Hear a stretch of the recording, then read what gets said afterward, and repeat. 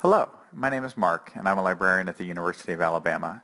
This tutorial will introduce you to Simmons OneView, a database that you can use to access market research. OneView gives you access to data from the Experian Simmons National Consumer Study, which is an annual nationwide survey on the spending and media consumption behaviors of American adults. For example, let's imagine that we want to find out which brands of deodorant are most popular among men of different ages. Is there a brand used by young adult men? Is there a brand that men over the age of 55 prefer? Simmons OneView can give us these answers. Simmons OneView can be accessed on or off campus from the library's website, www.lib.ua.edu. All of the library's electronic resources are available from the databases page. From here, we can locate the databases alphabetically by name.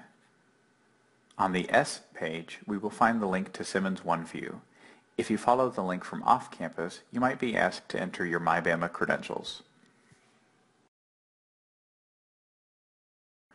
When the database loads, you will see a screen where you can begin to access Simmons OneView's market data by building a crosstab. Remember that Simmons OneView uses real people's responses to the National Consumer Study.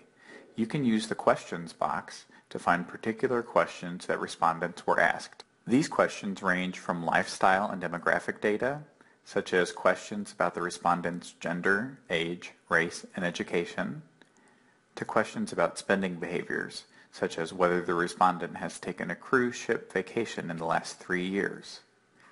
Let's return to our question about deodorant purchases. We can find answers to questions about deodorant purchases under the category Health and Beauty Aids.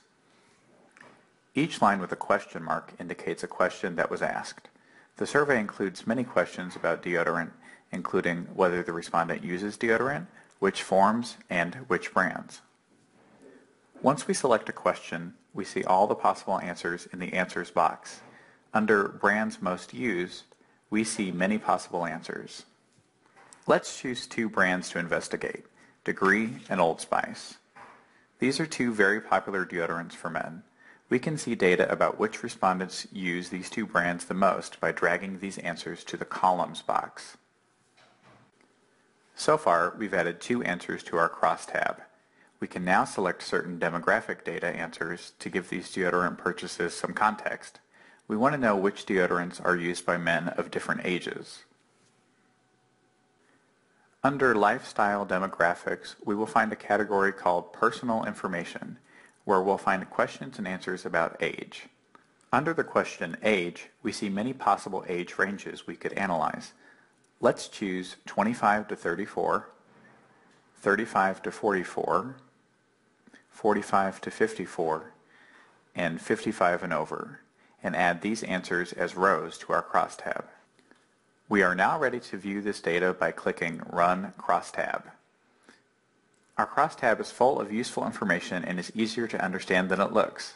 In the next tutorial, I will explain how to interpret a crosstab. Please find part 2 of this tutorial on the Gorgas Library tutorials page.